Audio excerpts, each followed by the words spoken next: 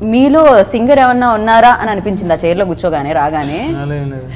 అది song satirical song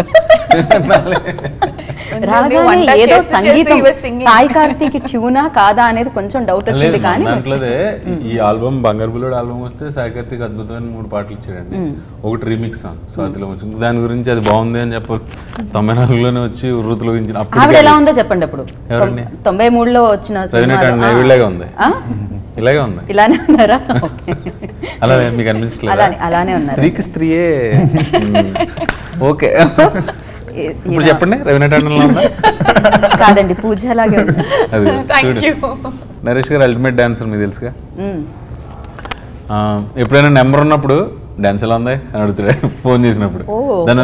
అంటే మామూలుగా కామెడీ ఎలా ఉందా అడగరు కానీ ఒక మంచి సెమ్టా పక్కల లాస్ట్ కంది చేనుకు వచ్చిన అలాంటి పాట ఉన్నప్పుడు డాన్స్ బాగుందా అని అడుగుతారు.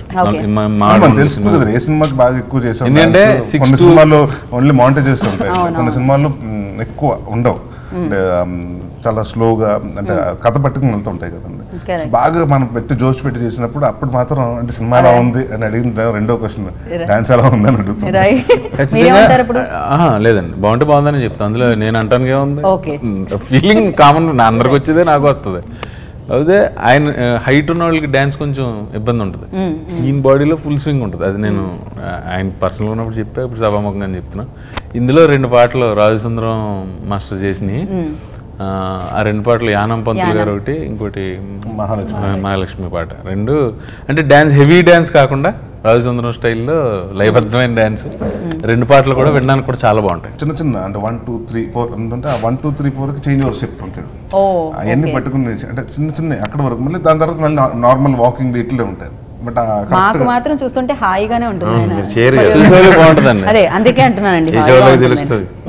ఎప్పుడైనా హీరో పక్కన మమ్మల్ని పెడతాడు. ఆ. స్టెప్ వచ్చినాడు హీరో పక్కన పెడితే ఇబ్బంది అది. అది తను చెప్తున్న కరెక్టే ఎప్పుడైనా తను కలవడానికి వెళ్తాం సెట్కి వెళ్తాం ఈ రాజు మాస్టర్ చేస్తున్నప్పుడు కానీ చూస్తుంటేనే కష్టంగా ఉంటుంది. వాయమ్మ ఈ ఎట్లా కష్టం అవుతుందిరా